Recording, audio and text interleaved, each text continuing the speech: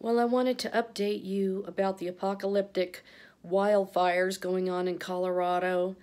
Um, you know, the East Troublesome Fire is a separate fire from the Cameron Peak Fire. And right kind of in between those two fires is Rocky Mountain National Park and Estes Park, which is just, you know, the biggest vacation town and part of my childhood, part of my mom's childhood, came under evacuation last night. People were fleeing Estes Park, and the traffic was backed up as far as you could see.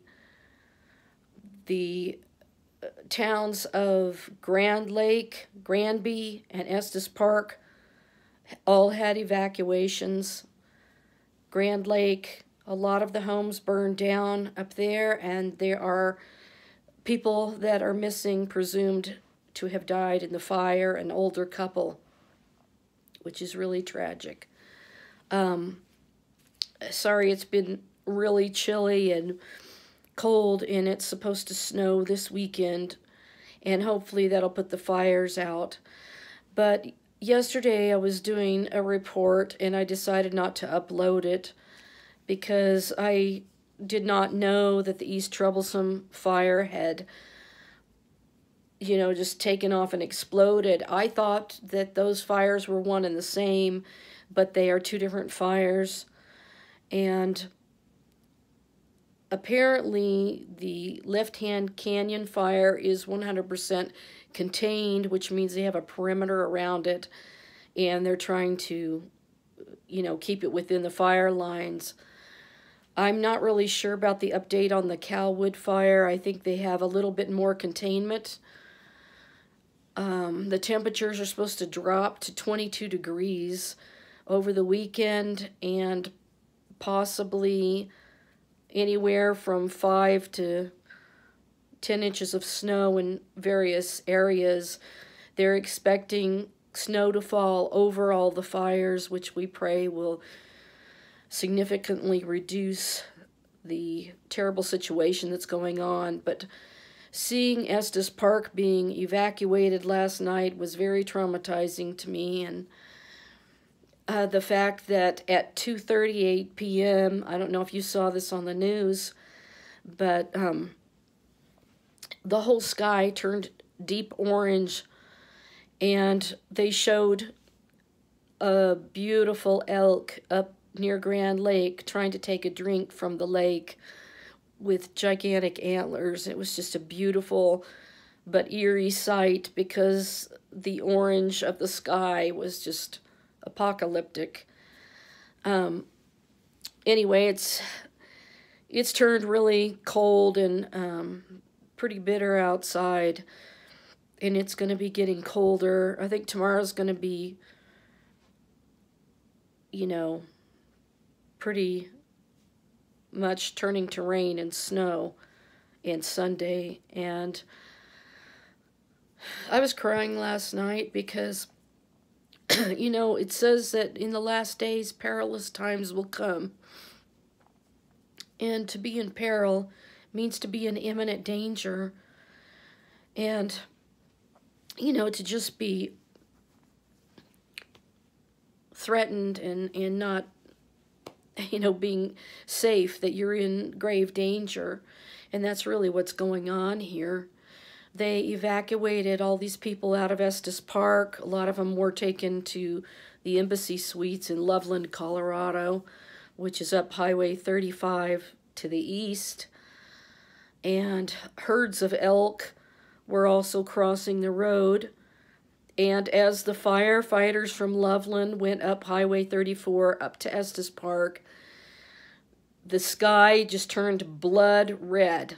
And I mean true blood red.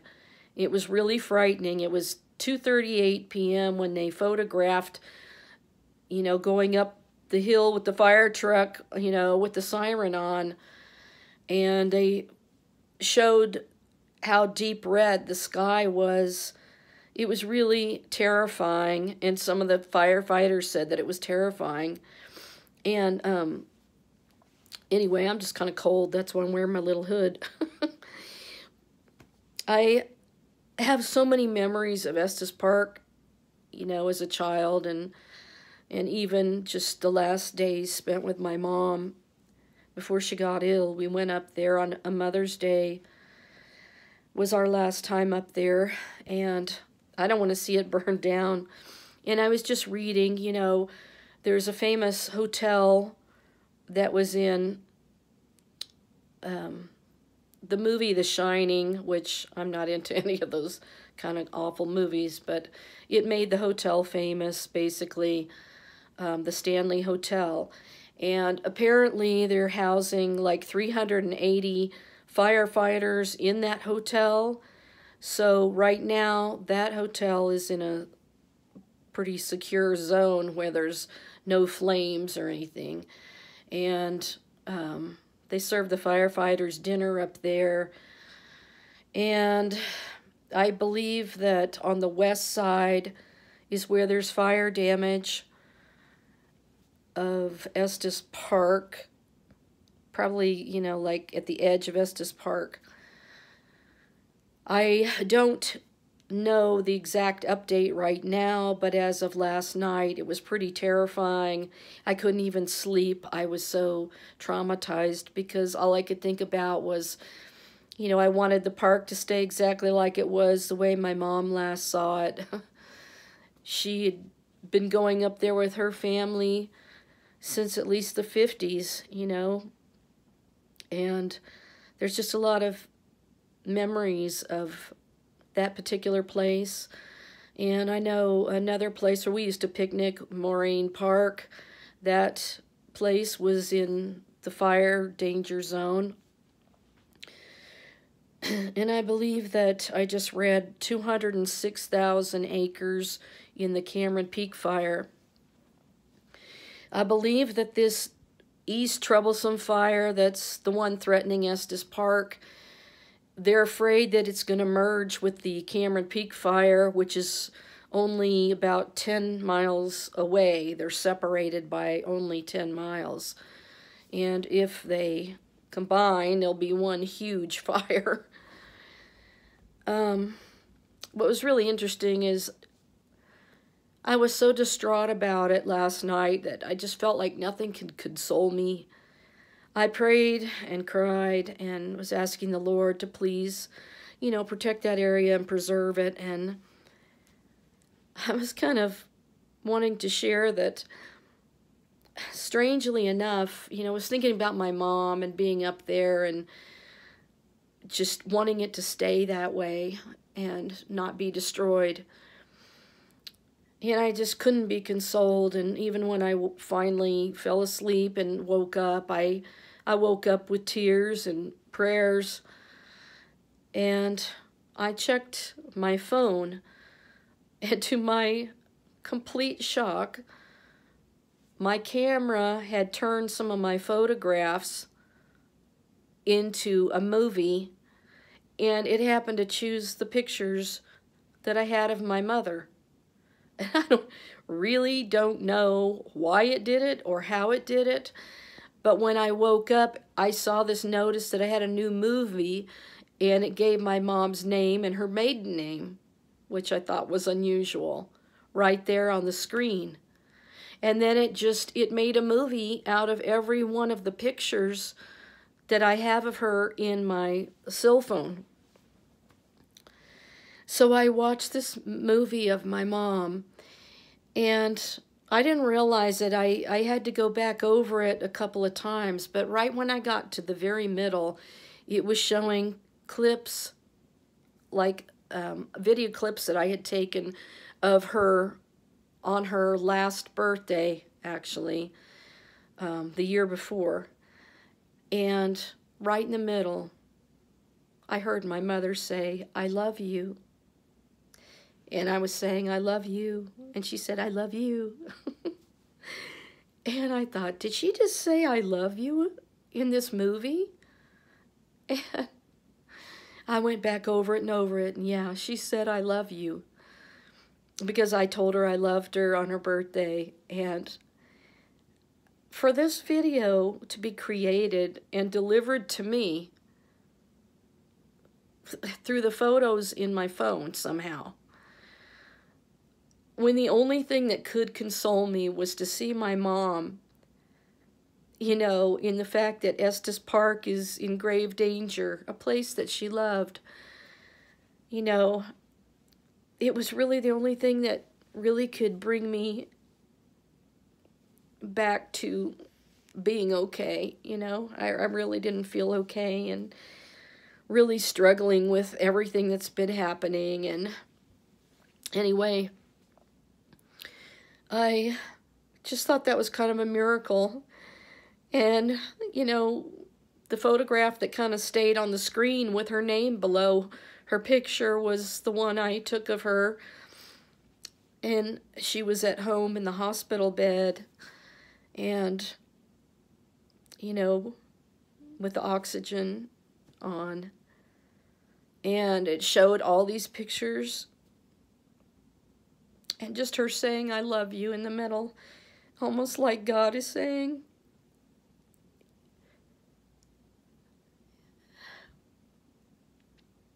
I'm comforting you with this because I know that how much this means to you. Estes Park and my mother and my memories of her there. So I wanted to just kind of share that because it's just another one of those miraculous things that I feel like, you know, the Lord did this morning. And, you know, I'm sorry if I look strange with this hoodie on. I know it kind of looks strange. I look like I have black hair or something.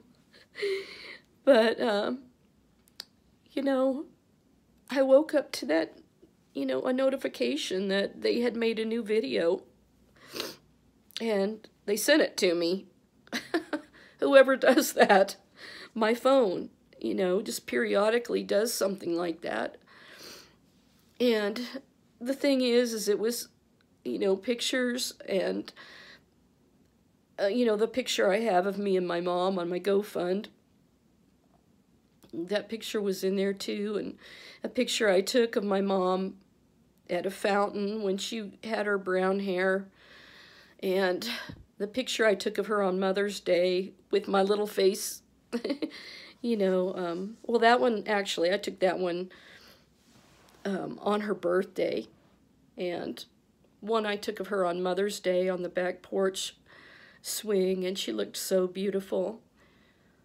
And I just thought, how can this be that I get this notification of a video of my mom with her name on it. And, you know, I, I think about her when I think of Estes Park. And I'm really struggling with just dealing with all of the smoke and the fires and the situation I'm in. And, you know, the only thing that could console me this morning, like I said, was just the fact that God somehow I got that video. And it was just, oh, yeah, one more thing I forgot to mention about it is that um, it it had music down below it that you could choose to put on the video. And the very word when I looked down on which music it was playing was uplifting. And I needed to be uplifted.